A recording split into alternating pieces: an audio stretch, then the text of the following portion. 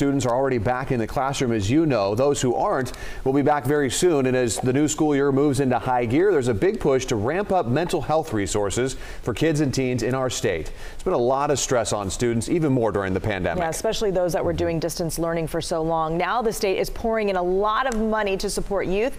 KCRA 3 Capitol reporter Ashley Zavala joins us. And Ashley, we're talking more than $4 billion, right? Lisa, more than $4 billion. The state is gearing up on this $4.7 billion plan. It aims to make mental health services easier to access for kids across the state in their schools, in their homes, and in their communities.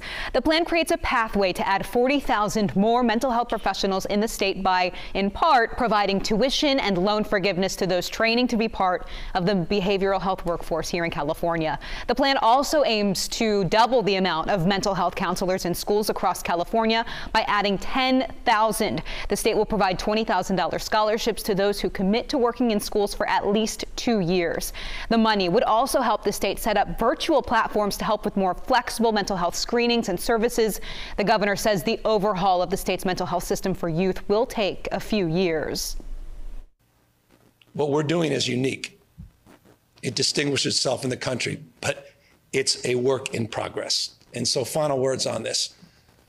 I don't want to overpromise in the short run, but I'm not going to underpromise in the medium and long term what these seeds will represent in terms of the fruits of your labor to make them real over the course of the next few years and, dare I say, decades.